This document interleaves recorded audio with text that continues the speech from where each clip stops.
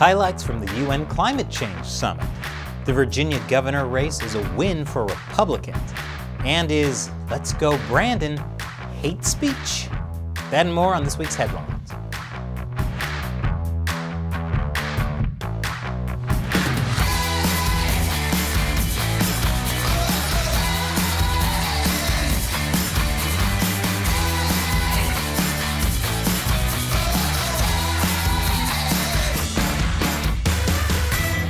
Welcome to America Uncovered. I'm Chris Chappell. The 26th UN Climate Change Conference of Parties, or COP26, is underway in Glasgow. COP26's goal is to bring parties together to accelerate action towards the goals of the Paris Agreement and the UN Framework Convention on Climate Change. Highlights include over 100 countries vowing to end deforestation by 2030, which of course means time to start hoarding toilet paper again. Fewer trees cut down means less paper. Actually, I don't know if that's true, but why risk it? Panic! Panic as if your cheeks depended on it. Those houses you TP'd on Halloween, get that back. And unwrap those mummy costumes. That's white gold. You're just throwing away. And speaking of ancient royal creatures, Queen Elizabeth. The Queen appeared in a pre recorded message and encouraged the world leaders to rise above the politics of the moment and take action on climate change. The Queen said protecting the environment is very important to her because the impact of the environment on human progress was a subject close to the heart of my dear late husband, Prince Philip, the Duke of Edinburgh. She also has a vested interest in preserving the environment, since she doesn't want it to be ruined while she's still reigning as Queen a hundred years from now. That woman will outlive us all. Speaking of out of touch rich people, Jeff Bezos pledged $2 billion to protect the environment. This funding will come from his Bezos Earth Fund, which he says is committed to spending $10 billion this decade on conservation, restoration, and food transformation. Bezos told COP26 Nature is beautiful, but it is also fragile. I was reminded of this in July when I went into space with Blue Origin. We get it. You went to space. Geez, he's more insufferable than those people who study abroad for a month in Europe and then come back with an accent and won't shut up about how we should convert to the metric system. Although I do believe Bezos is sincere in his effort to save the planet. After all, I'm sure he wants the Earth to be clean when he rules over it a hundred years from now. The Queen Elizabeth Jeff Bezos future wars are going to be intense. No matter who wins, one thing is for sure Prince Charles will never be king. If all this climate talk has you feeling bored, President Biden agrees with you. He fell asleep during the COP26 opening speeches. Oh, wait, he's awake again. And he's back asleep. We're just going to fast forward these next 20 seconds until Biden is woken up by an aide. Well, that's one way of conserving energy. Unlike flying across the Atlantic in your own private 747 to attend a meeting everyone could have just done over Zoom. Look, a lot of people are down on Biden for falling asleep, but I sympathize. I remember what it's like to sit through long, boring college lectures. So I have some advice, Mr. President. Get a pen and start doodling. For example, you could draw some sheep a species that will eventually go extinct unless world leaders take action. And then you could count how many sheep you've drawn, and oh no. Yahoo has pulled out of China. They're citing an increasingly challenging business and legal environment. This was mostly a symbolic move, as most of Yahoo's services were already censored in China. In a statement, Yahoo said it remains committed to the rights of our users and a free and open internet. In that case, this move makes sense. Maintaining a free and open internet in China is like trying to maintain a petting zoo in a lion's den. Yes, it's sad all those poor little sheep were eaten, but on the bright side, with fewer sheep to count, maybe the president will be able to stay awake during the next climate conference. More after the break. Welcome back. An Ohio House committee passed a bill that allows citizens to carry a concealed gun without receiving any training. This is similar to a Texas law that went into effect in September. And Ohio may be taking another page out of the Texas playbook. Two Republican legislators in Ohio introduced a Texas-style restriction on abortion that allows citizens to sue anyone receiving or helping to facilitate abortions. They did this despite the Texas law being currently reviewed by the Supreme Court. I'm saying this to Ohio, but this also goes for the rest of the nation. The only thing you should be taking from Texas is Whataburger. I've said it once, I've said it a thousand times. Never go full Texas. That's one step away from going full Florida. And no one wants that.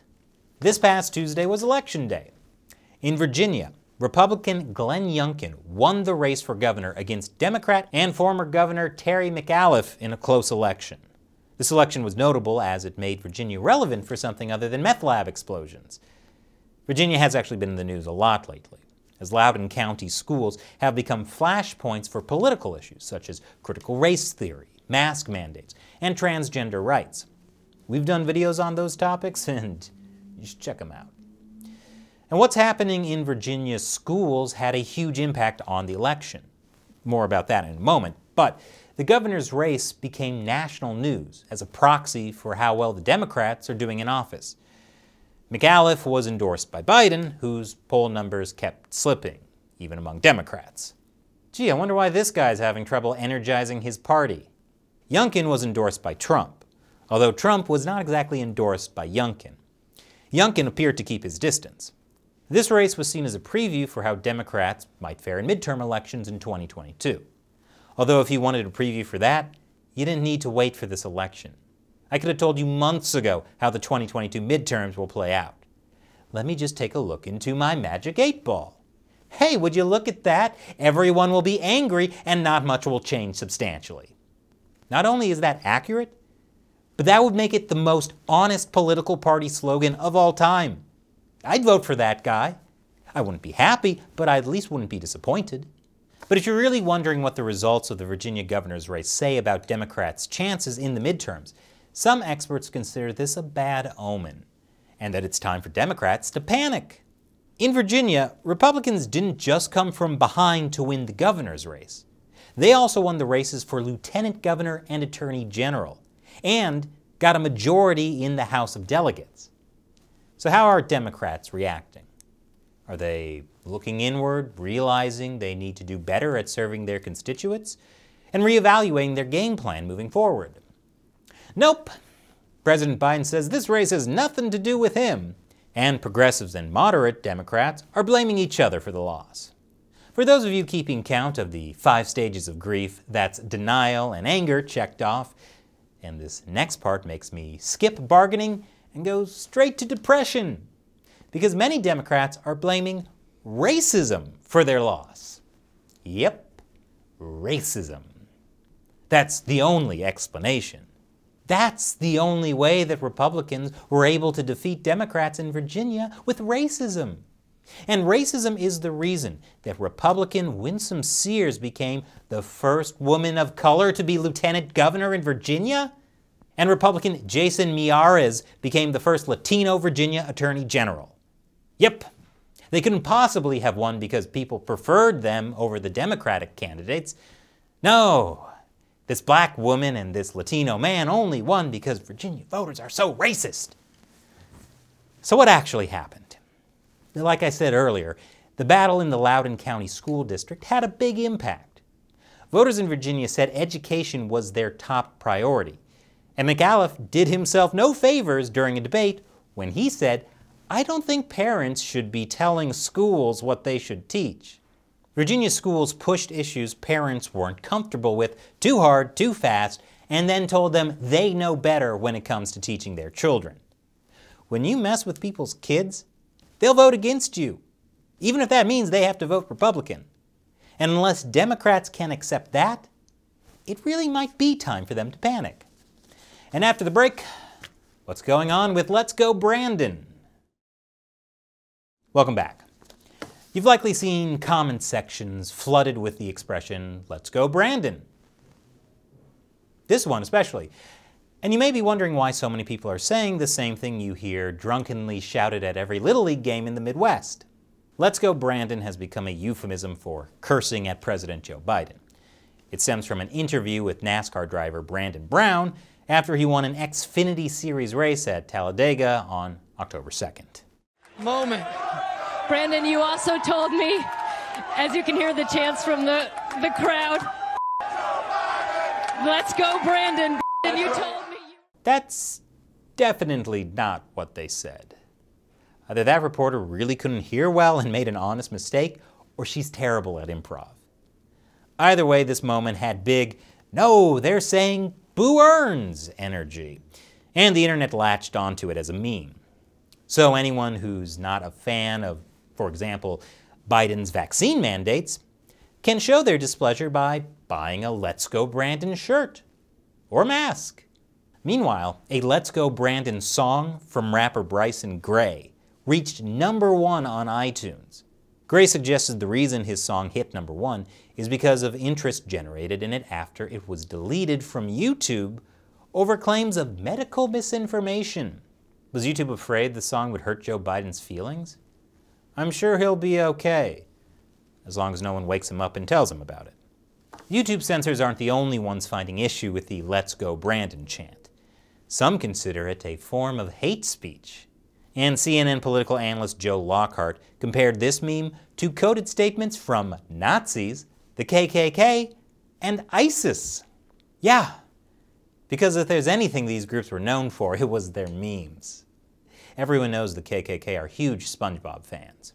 Their hoods are shaped like that because of how much they love Patrick.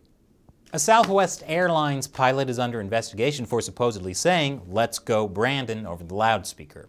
Southwest said in a statement that Southwest does not condone employees sharing their personal political opinions while on the job. The company didn't divulge whether or not the pilot was suspended, but personally, I hope he's fired. Not for saying something political, but for trying to be funny. Any airline employee that does a corny stand up routine during a flight should be fired, fined, and imprisoned. I'd rather listen to plane jokes from Al Qaeda.